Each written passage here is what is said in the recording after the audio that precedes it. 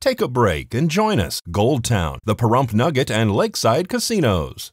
Every year we see people who attempt to shoot off their own fireworks coming into emergency departments with burns, with mangled hands, with eye injuries.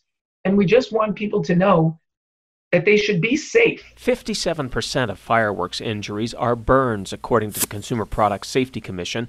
Injuries to the hands and fingers are most common, followed by the legs, face, and eyes. Dr. Fertel says alcohol and fireworks don't mix, so any adults handling them should be sober and take appropriate safety precautions. Fireworks should be ignited in a wide open area away from structures or dry leaves, and once lit, you should move away quickly. Keep a bucket of water or hose nearby in case of emergency or fire, and after fireworks complete burning, douse them with plenty of water. If a fireworks device doesn't fully ignite, don't pick it up or try relighting it. Dr. Fertel says the safest way to enjoy fireworks is to avoid DIY displays altogether and hire a professional. Fireworks are dangerous. They're beautiful.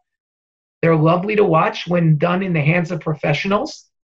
But those professionals wear protective eyewear, they know how to handle these, and they make sure to do that in a safe way. Dr. Fertel says children should always be kept away from fireworks and watched very closely with sparklers. Sparklers burn at about 2,000 degrees and can injure a child.